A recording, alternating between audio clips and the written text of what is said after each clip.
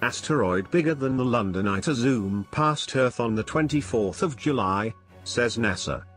Asteroid 2020 ND, 160 meters in diameter, to fly past Earth on July 24. Asteroid 2020 ND's first recorded approach to Earth was back in 1945, and it has since passed by our planet four more times.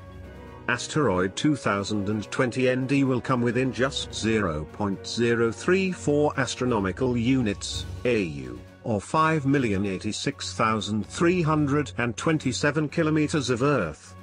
It is moving at a speed of 48,000 kilometers per hour. Approaching of asteroids towards Earth is not a very uncommon event. But such events catch attention when the space rock moving past our planet is of enormous size.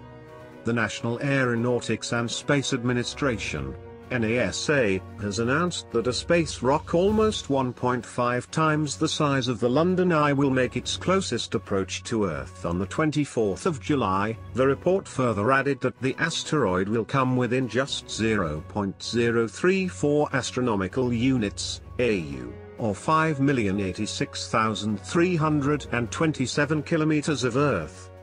It is moving at a speed of 48,000 kilometers per hour. 2020 ND and is 170 meters tall.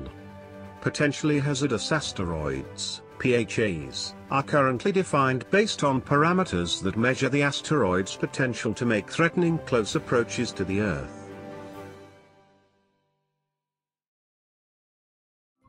Thank you for watching. Please subscribe to us on YouTube. If you like donate to us visit home on the page PayPal.